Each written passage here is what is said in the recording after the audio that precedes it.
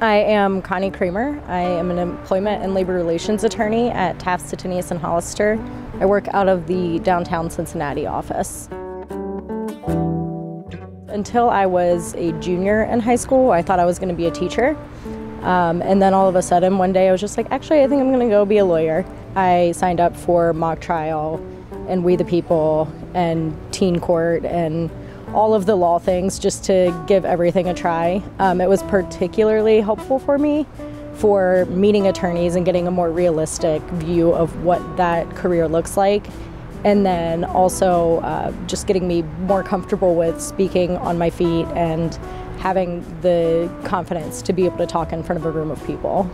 And I went back and forth several times during college and after college before ultimately committing to going to law school. So it was a lengthy process for me.